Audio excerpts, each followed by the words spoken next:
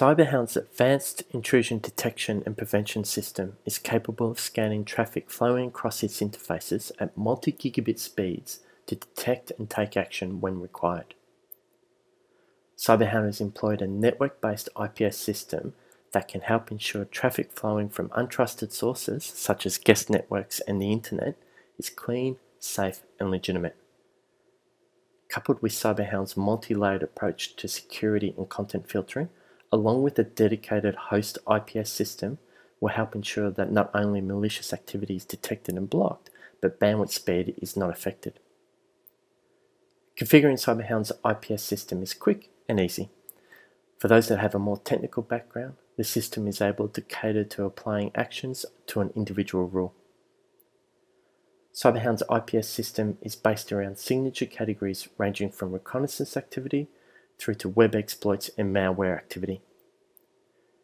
Each signature in a category has a corresponding severity level, 4 being of minor concern, right through to 1, a critical event.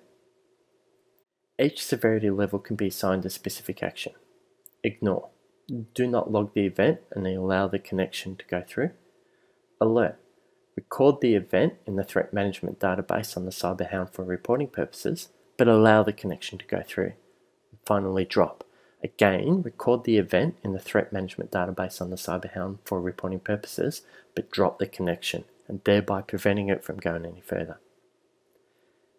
It can sometimes be a fine balancing act between detecting and acting on malicious traffic versus blocking legitimate traffic. As such, the default configuration applies a common sets policy map that helps ensure IT staff have the best possible protection without the need to employ a dedicated and usually very expensive cybersecurity officer.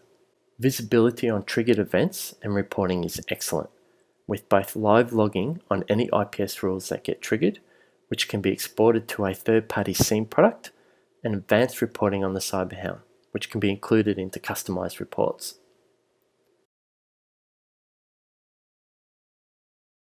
Should the action on a specific rule need to be changed, it's just a really simple matter of selecting the rule, changing the action, and then committing the change. One of the key highlights of the IPS system is being able to integrate with Aruba's ClearPass the industry-leading network access control system, to give IT teams valuable time to fully investigate the triggered event without the worry of a rogue device on the network. The CyberHound can be configured to send events to ClearPass, to tell ClearPass to either quarantine the device in a closed-off VLAN or block the device entirely, in effect kicking that device off the network. All this is achieved within seconds, meaning the CyberHound and ClearPass have given the IT team significantly more time to properly investigate the issue and take appropriate action.